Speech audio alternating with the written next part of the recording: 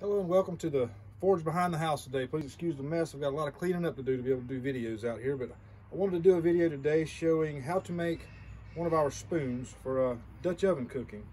And this is the spoon that I'm actually going to make today because I made it today, and this is a after video.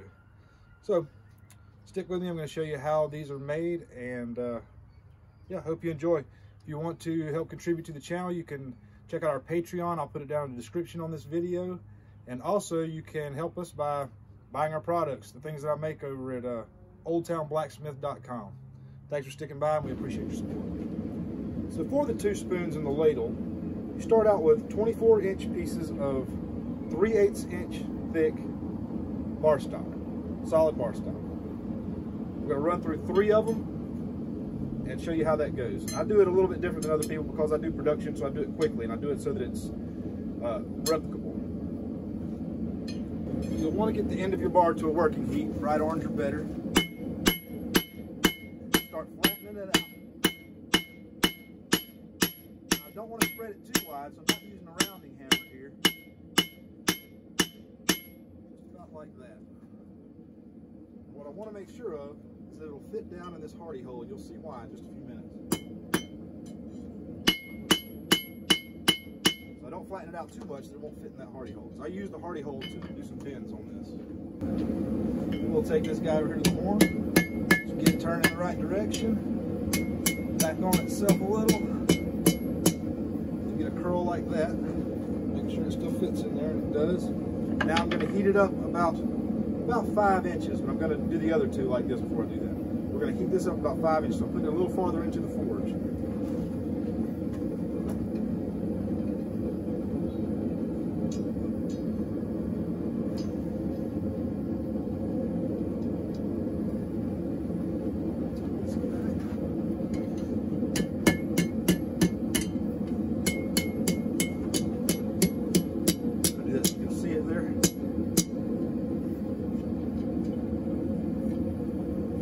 this little curl here, in effect, becomes a beer bottle opener.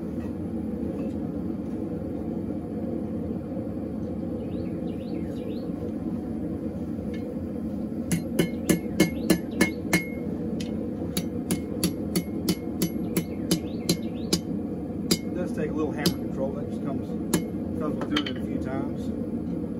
Always checking to make sure it fits. That's what it quite fits. We're gonna put more roll.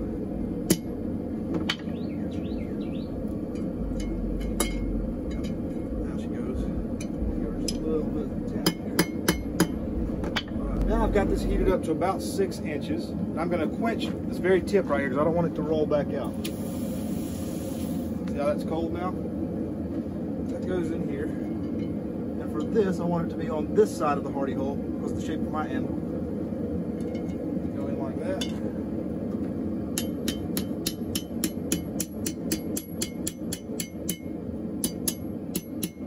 that's effectively our handle there. Now we're going to put it back in. We're going to put our touch mark on there. Then we're going to put a twist on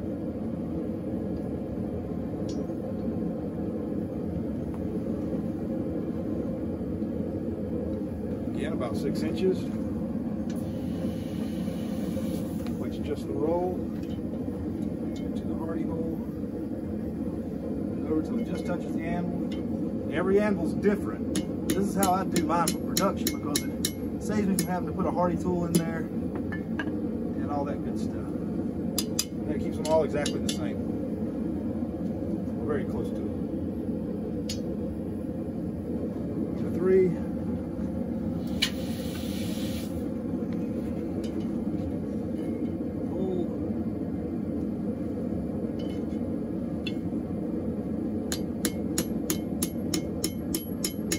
Also, when you do any straightening with it,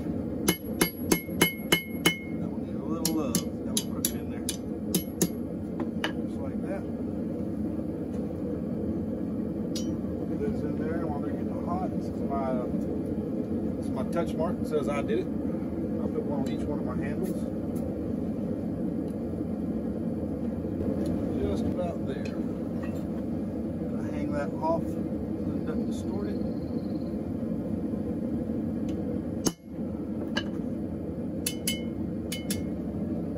Maybe you can see that. And then we're going to put this whole thing in. We're going to put a twist right here. So I'm going to do the other two touch marks and then we'll get to the twisting. Which will require a camera reset.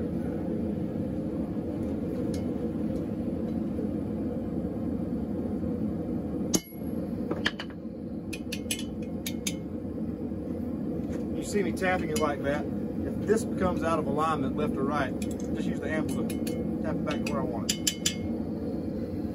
Punch the part here where the actual handle is. I've got to work fast.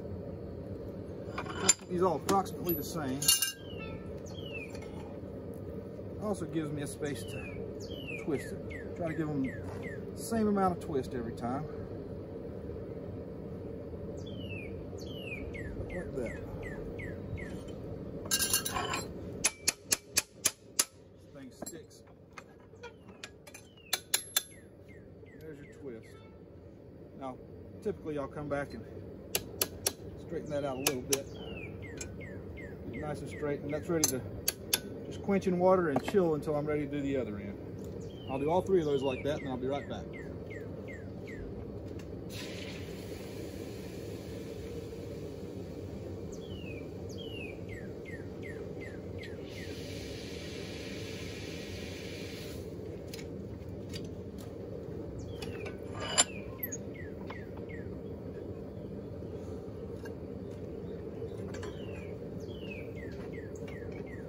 I'm not measuring these or making marks on them. They're all pretty close to being the same every time. They do differ a little bit because it's handmade, and that's just the way it is, that's the way it's supposed to be. shows you it's not made in a factory in China somewhere.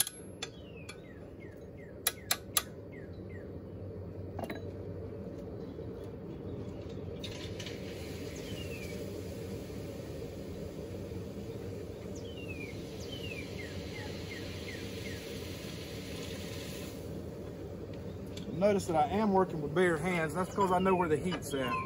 I don't burn myself very often, but you have to stay very mindful of what you're doing. Gloves just get in the way, in my opinion, are dangerous sometimes.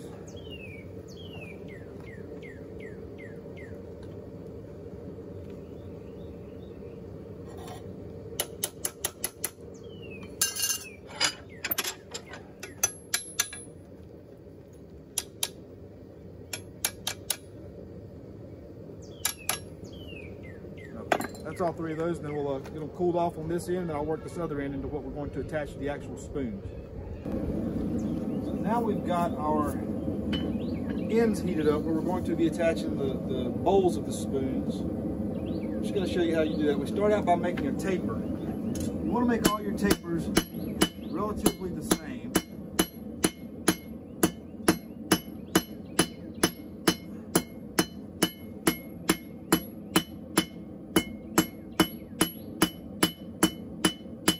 I like mine to be about, about an inch long, a pretty fine taper.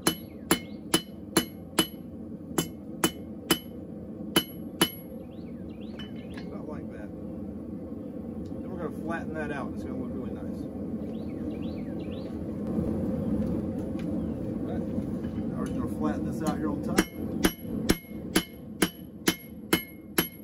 is a little bit of hammer control because you're wanting to hit it in spots so you can spread it out systematically.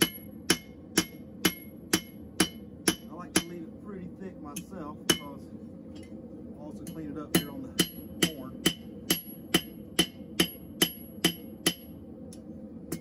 Straighten it out a bit.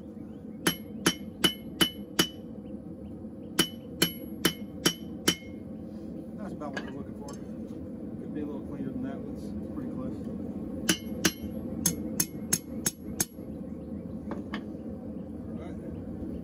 Alright, that ready. Let me heat that up. Spot there I don't like. You can always give it another heat and tweak it out a little bit. The idea is to do it in as few heats as possible, but sometimes you got to do what you got to do to make it right. That's what makes that's what makes the difference between a lot of people's work. They just go with it the way it is. I let the steel tell me what it wants to do. Oh hush, you're the blacksmith. You make it the way you want it. George Lewis, a mentor when I was doing uh, fabricating work. He always said, if you want it perfect, make it perfect. That rings in my head every time I think about leaving something less than perfect.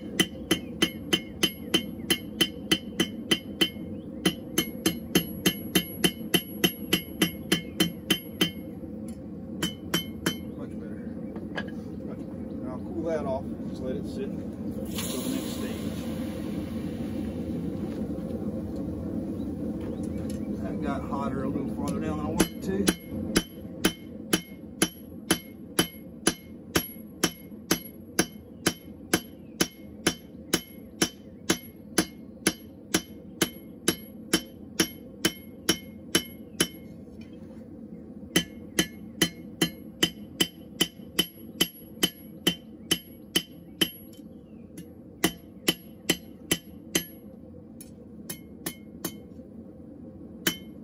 Oh, got a lot better on the first one. Best way to teach yourself to do it right is when you mess it up. If I would have left it the way it was to begin with, it would have been just fine and not noticeable to anybody other than me. And I'd have thought about it forever. It would have bothered me.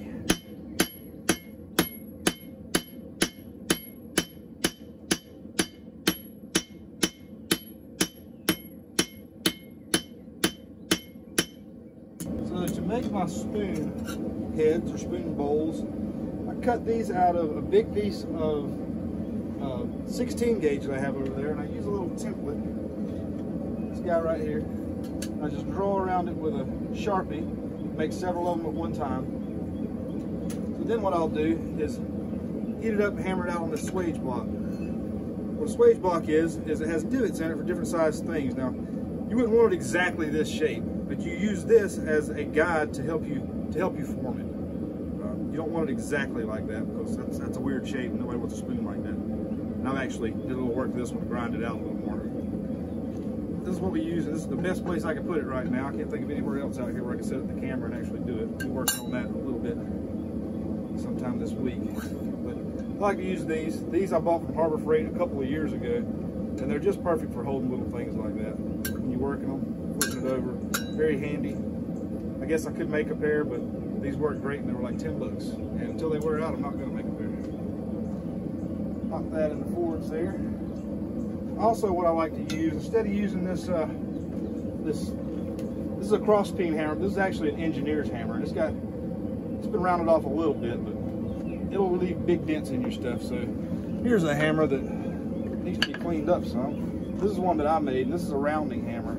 It gives you a, it's got a more rounded edge there. It gives you a, a, a better form on your on your heads. Start here. The pointy end first. Kind of give it a couple taps in the. When you're moving it around of the whole time, things set. Then I'll do a little extra forming on wherever I'm done and straighten it out on the end. Really difficult to do that angle. It's got a little bend in there. We're going to go ahead and dish it on out and fix it in a minute. Going over here to the rounded end.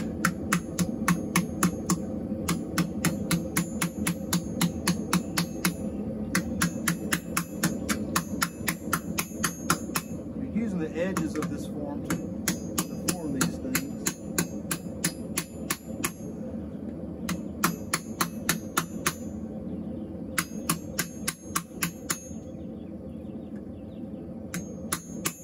Don't want them too dished out because it is a spoon and not a ladle. I can get with that. Now I'm going to heat it up and just kind of straighten it out a little on the handle.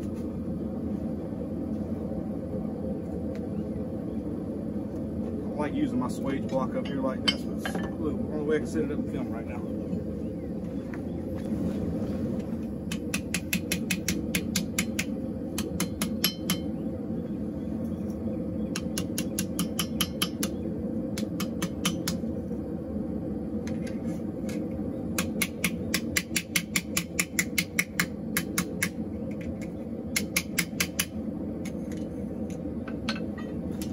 Pretty close to what I want right there.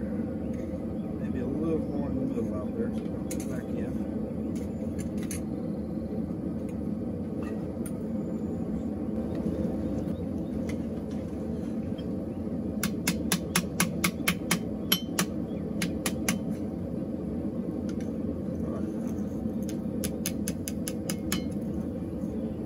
there's your basic spoon blank. Just like that. Dished out just enough. But I still could take a little out of there. But I can do some final tillering on it whenever I actually get the spoon built and do it cold.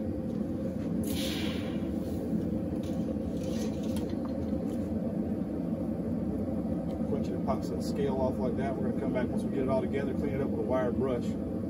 That's a spoon blank. Now I'm going to move on to uh, drilling some holes and attaching these.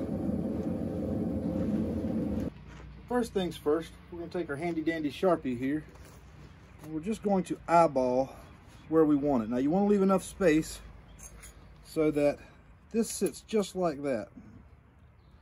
So you want to leave enough space that you'll be putting your rivet at least about a quarter of an inch away from the side, the edge of that. So look at this, find about where center is, and about where I think that's going to be. It's not super critical. And then between the two, you also want to leave enough space that your rivets aren't overlapping. Make sure it's pretty close to center. You want it to be really close to center because it really shows up once you put the rivets in there. So make a couple little marks with a Sharpie or pencil or whatever you like, something you can see. Then we grab a hammer, and I'm not looking for that hammer, I'm looking for my other hammer. I don't know what I did with it. Let's see, I'll use this one. Don't like to use my rounding hammer for uh, hitting hard tools because it'll scar it, and I like to do pretty fine work with that rounding hammer sometimes. So this is just a, a, a center punch I've made or a, a marking tool. I'm going to put it there and put a divot in this so that I'll have a spot to start my drill bit. On each one of those black marks that I've made. We'll get into making some tools sometimes soon too. This is a very, very important tool to have in the shop. Very easy to make if you got the right material about the easiest tool there is to make. So if you can see there, hopefully I'm putting this in view. You see there, it's got two little divots so that your uh, drill head won't wander around when you start to drill it. Now we're gonna go drill that out. I'm gonna just work on one from this point forward to show you how to do it, and then I'll come back and do the others. Try to save some camera time. Now it's just a matter of using those to drill, using those little divots I just made to drill some quarter inch holes in here for a quarter inch rivet.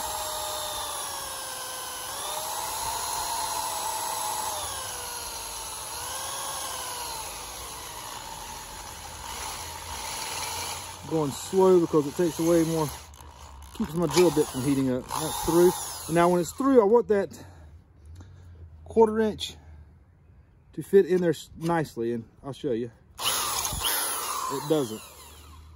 See, it doesn't. It's not going to fit in there very well. So I'll take this very easily, kind of wallow it around like that. Now, slips in there still snugly. Also, this is going to spread out whenever we start pounding on it. But it actually gets in there. That's what we want.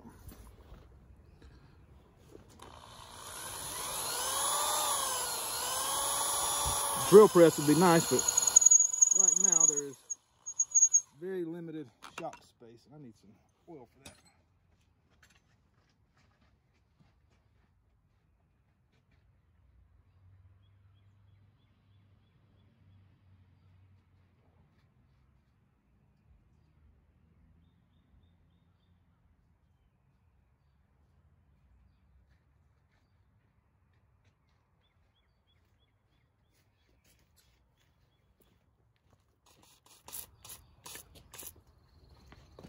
WD-40 on there ought to help that from happening.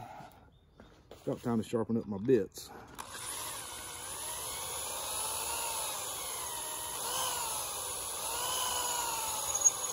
Definitely time to sharpen my bits. Hard to find your WD-40 whenever your kid's got bicycle parts everywhere that he likes to work on.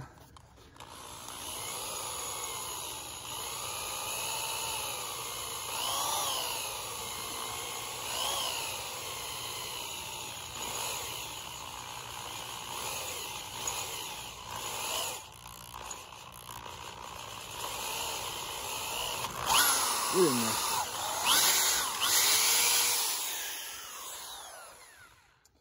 All right, so that's done. And now we'll move over and we'll make a hole in the, a single hole in the head.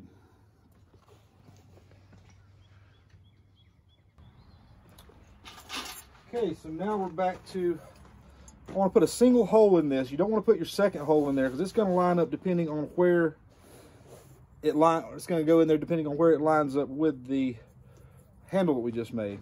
But you want to look at this and kind of just imagine where the center line is. Feel free to draw on it because it's going to get cleaned off anyway. So I'm just guessing that's about the center line. Looks about right It's maybe a little more flared than that. We're gonna put our first, I don't know if you can see that, make sure I'm in, the, in the camera here. Okay, so I just made a, a, a line here that I guesstimate to be the center line. You do want to be pretty close. You can make yourself a template if you like or whatever, but I don't do that. I rarely mess one up. When I do, I toss it out and kick myself in the butt. Then we're gonna want our thing to land at least 3 sixteenths to a quarter inch away from that edge right there. So that's where I'm going to make my spot. And I'm going to go ahead and make a divot in it like we did before.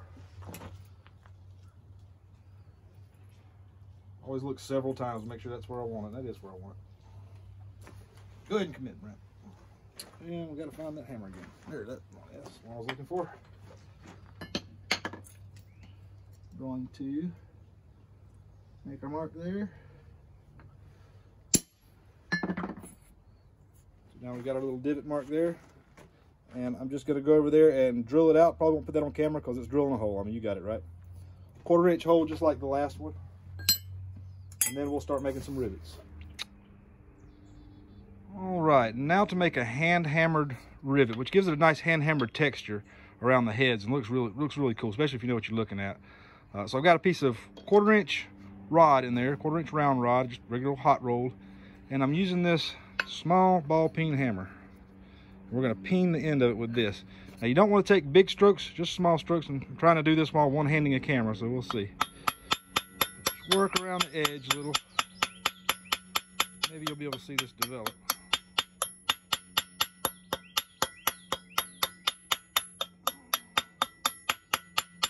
You want to give some good strikes in the middle every now and then to spread out a little material.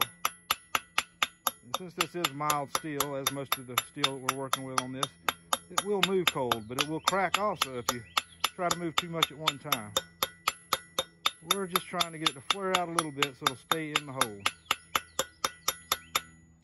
Gives it that nice texture. You can see that. Nice hand hammered, peened over texture. See that? I like that look and it really looks good when it's on the uh, on the piece and then it's turned black and it looks like class and it, it is class hand hammered hand hammered steel rivets steel rivets don't move so we do that and then I'll show you how we measure it out and then cut it to size and then peen it over into the piece now as you can see I've just threaded the rivet through the piece here on through the back side and left it hanging out this side. And what we're gonna do is we're gonna mark that about a 16th of an inch from being flush. And that'll give us some to peen over and make it look nice. See if I can, uh, I'll mark that and then I'll show you where the mark is because it's hard to, I don't have three hands. Maybe I'll get some more, uh, some more camera equipment to hold things in place. But for right now, this is what we're working with. All right, so we've got our three pieces here. I just cut that rivet off where I showed you, uh, I'll show you again here. I don't think I recorded that actually. All right, so we're gonna go in through the back side of this, up through here. Remember, we don't drill that second hole yet until we get this rivet set. Now, look in close right here, you can see about how much rivet I left up there. And it's not much, about a 16th of an inch, maybe a little bit more. So now I'm just gonna peen that over real easily. I'm gonna use a little bit larger ball peen hammer to get it started. That'll really lock it in. If you don't hit it hard, it'll split it.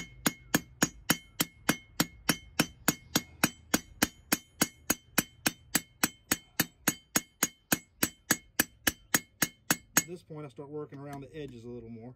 I spread that out in there so it's pretty getting pretty tight. I want to left a little loose so that I can adjust for the other rivet. then once I get it spread out about to there, and that's really tight, I'll take the smaller one that I did the back with and texture it to make it look nice.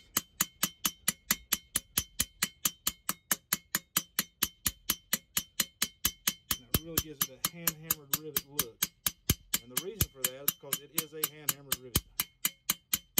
It isn't some crap you bought off a Wish. Alright, now that that's set, hold this and kind of look down it and center it up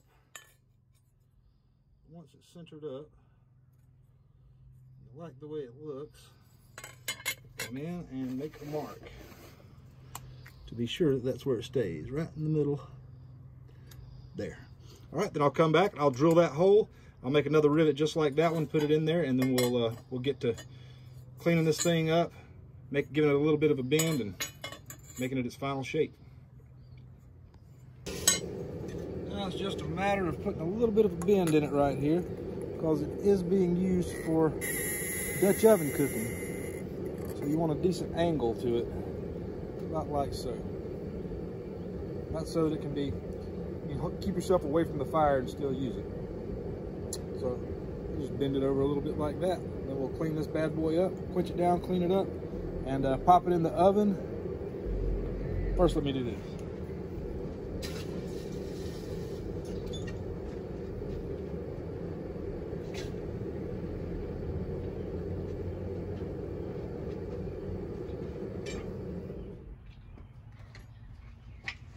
Now what we want to do is clamp it back in our vise here. And we're going to use a wire cup wheel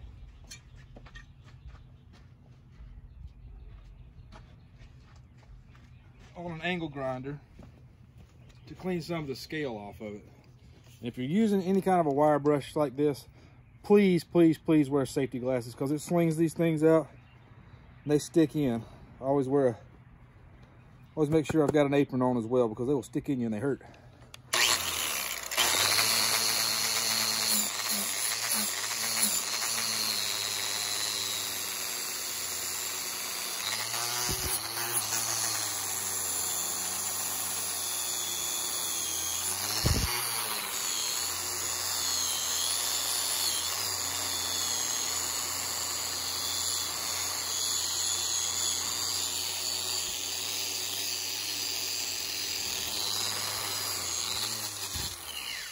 This will make pretty short work of your forge scale, leave you with a nice shiny piece. And then what I do is I rub it down with regular vegetable oil like you would uh, fry food with, and it goes into the oven at 500 degrees for one hour.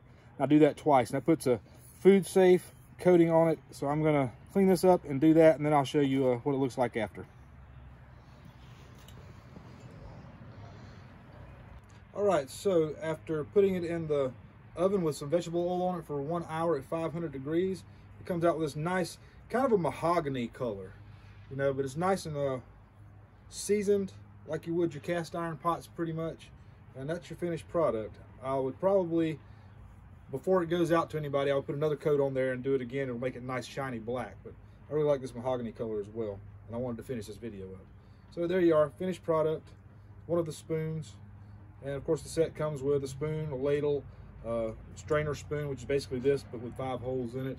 And then the rack and tongs, lid lifter, and, oh, and the folding trivet. I'll get around to showing all of those things. They won't be on this video. Those will be uh, for Patreon uh, subscribers. And you can find that link down in the description there. It's uh, at patreon.com or you can find these products at oldtownblacksmith.com. I appreciate you standing by and watching today. And uh, our videos will get better and better because today was kind of a trial run. I'm gonna start setting things up so that I can actually have cameras where I need them and all that kind of stuff. But again, thanks for stopping by. Hope you enjoyed the videos and we'll see you next time.